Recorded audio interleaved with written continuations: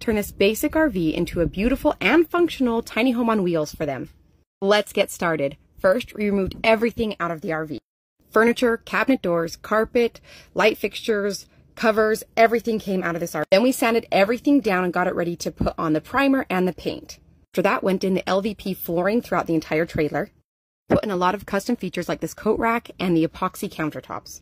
Which we were able to do right over the existing countertops. Can you believe that's epoxy? We also built some custom furniture like these cubby holes for the kids' toys. After six weeks of hard work, it was time to get it staged and ready for the clients to see it. We had problems getting the couch, but other than that, it is 100% done and ready for them to enjoy their new life in their tiny home on wheels. One of my favorite parts of the renovation is the bunk room that we did for their two young children. The top bunk we turned into a crib space for the youngest child.